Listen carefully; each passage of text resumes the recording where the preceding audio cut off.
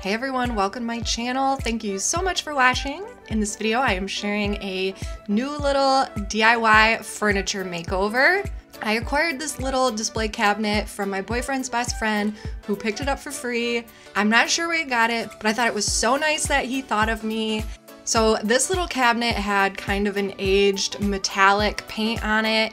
A lot of it was starting to peel off and look pretty worn, but overall it wasn't in bad condition. But I knew that I wanted to put this piece in my home office, beauty room, and everything that I'm doing to make it over is essentially free. So I'm using all things that I already had around my house, paying zero dollars to do this little project. So I'm starting off with giving it a little bit of a sanding. I'm not going crazy on it or anything, but I am all about putting at least a little bit of prep work in when it comes to refinishing furniture. So I have this 150 grit and I'm going over all the surfaces, just trying to smooth it out as best as possible. And after sanding, I'm making sure I get all that dust cleared up. I'm using my vacuum and just a wet microfiber rag to get up as much of that dust as possible. And then I'm starting off by painting the interior of the cabinet. Now I have this Rust-Oleum chalked paint in white that I am using. I do not particularly recommend this paint, but it is what I had on hand as far as white goes. I wanted this little makeover to be completely free and just use up stuff that I had around the house. So I'm just using a standard paintbrush and painting the inside white. I think on the interior I did end up doing two different coats and then again just did a light sanding in between to try to smooth out some of those brush strokes. And then after the first coat of interior paint, I was ready to start on the exterior. So since this had a glass door, I had to tape everything off, which was kind of a pain, but also just necessary if I want to get a de decent finish. So I am taping off both the inside and outside of the glass door. And then of course using my trick that I always talk about here on my channel, using an old gift card to smooth over the painter's tape to really seal it in to make sure I don't get any bleeding from the paint.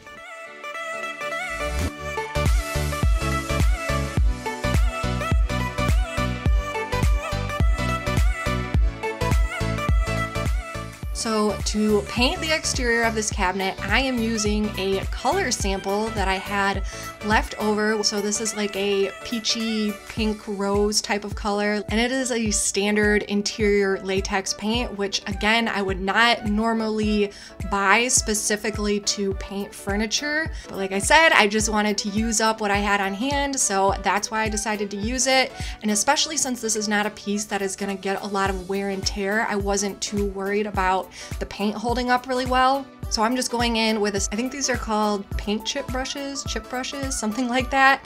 They're really cheap. I had a bunch of them. I don't recommend them. I'm like not recommending anything in this video, but the bristles always fall out in this, so I'm you will see me picking out bristles in my paint a little bit here. But again, it's what I had on hand. They're cheap and you can just throw them away when you're done with them. So I'm working my way covering the entire surface, lots of little details and nooks and crannies. So for total coverage on this piece, I believe I ended up doing two coats of the pink, just like with the interior, maybe even three. And again, I do do a light sanding in between the coats just to try to minimize those brush strokes. And I was able to get the entire thing covered with that one little sample container of paint, which was great.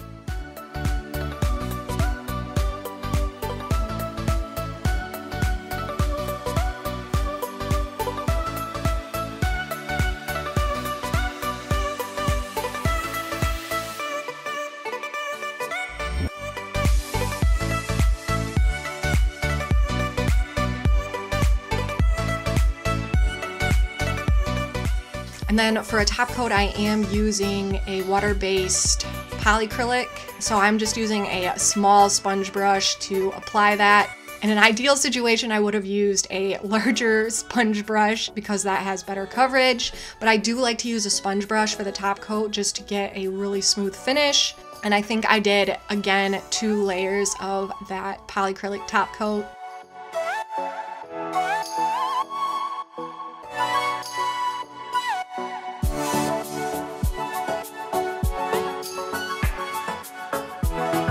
All right, and now I am moving on to mounting this little cabinet.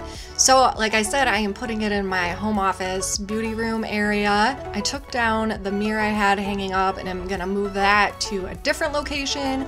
And I used the painter's tape trick to mark where the little hanging holes are and leveled everything out to know where to drill. One of my screws was in a stud and then one of them I had to use a wall anchor for. And then I got Sam to come help me hang it up so I didn't drop it. What? The door, the handle's not on. I know, but I'm saying. Oh, yeah, I guess you're right. I'm done. Yeah. Sorry, I'm done. Yeah. Yeah, you are done.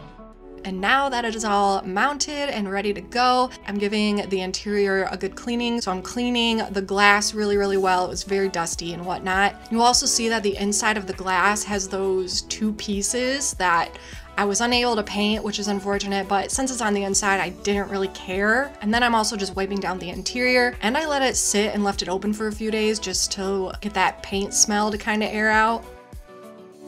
And now I am going ahead and decorating it. I am just filling it up with a few different decor pieces and knickknacks. So I just have a few items that I think are pretty or make me happy. I have a few things that are sentimental and nostalgic. And as you can see, it definitely keeps consistent with my kind of pink, black, and white color scheme. And here's kind of just a look at the inside of it and how it turned out. I definitely wanted to display some pretty items in here, but I didn't want it to feel like super cluttered or anything. For an entirely free DIY project, I am very happy with how this turned out. The paint is already starting to chip in a few places where the door shuts, but that is what it is. That's just the nature of latex paint like that.